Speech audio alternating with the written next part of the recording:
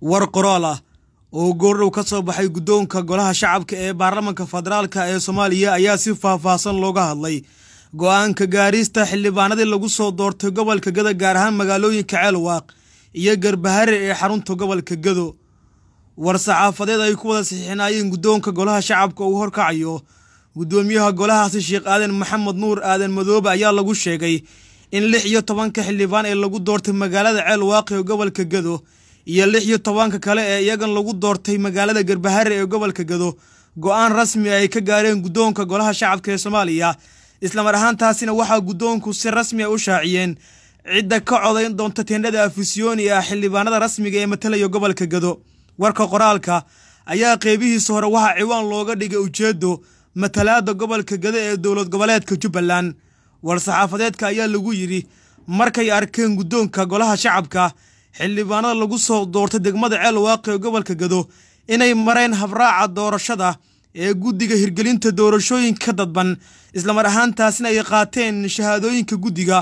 Waxaa war-saxaafadeedka lagu sheegay in la ansixiyey xildhibaanadii lagu soo doortay magaalada ceelwaaqi ee gobolka gado.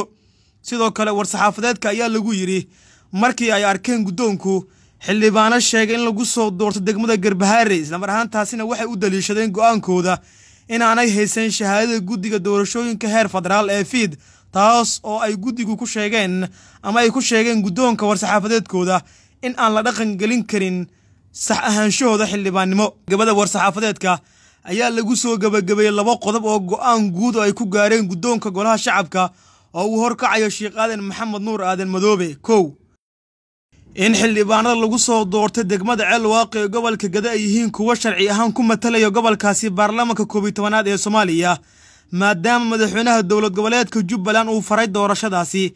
Habraaca doorashooyinkan ay ku qabteen guddiga hirgelinta doorashooyinka ka dadban ee heer dowlad goboleed.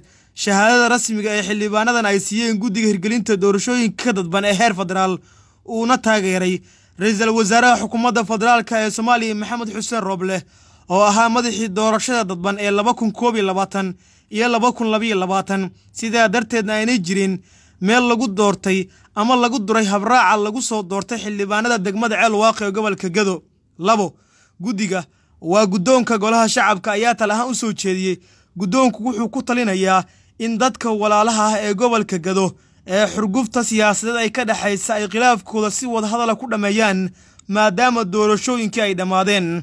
Go'aankan ayaa u muuqda mid u hiilinaya madaxweynaha dowlad goboleedka jubbaland axmed maxamed islaam axmed madoobe kaas oo soo gaaray magaalada caasimadda ee muqdisho. Maanta waxaana si weyn axmed madoobe ay isugu hayeen gobolkaasi madaxweyne farmaajo. Sidoo kale waxaa guulaystay go'aankii ra'iisul wasaare maxamed xuseen roble waxaana sidoo kale codadka lix iyo tobanka ah si weyn ugu tashanaya musharaxiin badan oo ay ka mid yihiin xasan cali khayre iyo madaxweynaha puntland siciid cabdulaahi deni haddaba daawade sideed u aragtaa go'aanka maanta ay gaareen guddoonka golaha shacabka ee lagu fasaxay xildhibaanada degmada ceelwaq lagu soo doortay?